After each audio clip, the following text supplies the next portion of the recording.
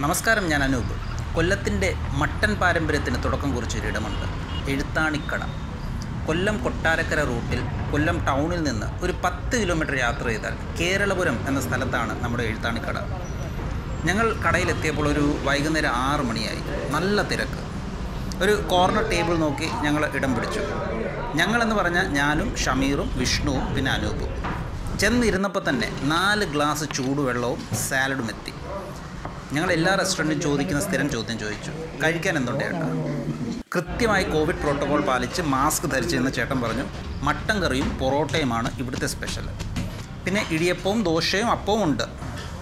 ഞാൻ ഒഴിച്ച് ബാക്കി മൂന്ന് പേരും അപ്പവും മട്ടൻ കറിയും ഓർഡർ ചെയ്തു. ഞാൻ മാത്രം പൊറോട്ട ഓർഡർ ചെയ്തു. ഇവിടെ അപ്പവും ഇടിയപ്പവും ദോശയും ഒക്കെ ഉണ്ടെങ്കിലും ഫേമസ് പൊറോട്ടയാണ്. അപ്പംകാരുടെ ഓർഡർ ആദ്യം എത്തി.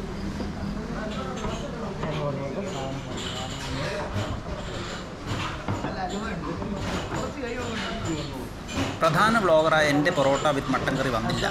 വന്നപ്പോൾ ഇടിയപ്പം. ഇടിയപ്പം അല്ല ചേട്ടാ പൊറോട്ടയാണ് പറഞ്ഞത്. അയ്യോ ഞാൻ പൊറോട്ട ആയിട്ടാ പറഞ്ഞു പൊറോട്ട. നേരത്തെ ഫുഡ് കിട്ടിയ കാപാലികന്മാർ എന്നെ വെയിറ്റ് ചെയ്യാതെ എന്റെ പരിപാടി തുടങ്ങി.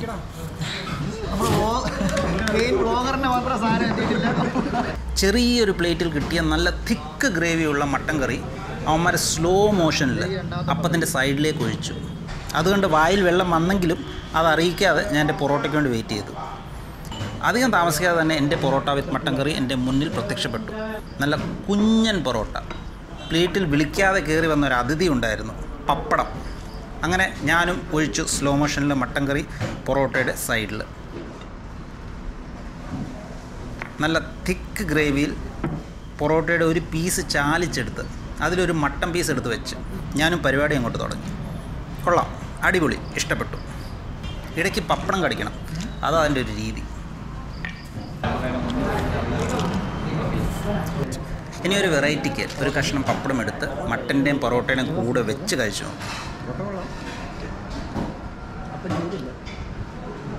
ചുമ്മാ ഒരു പരീക്ഷണം.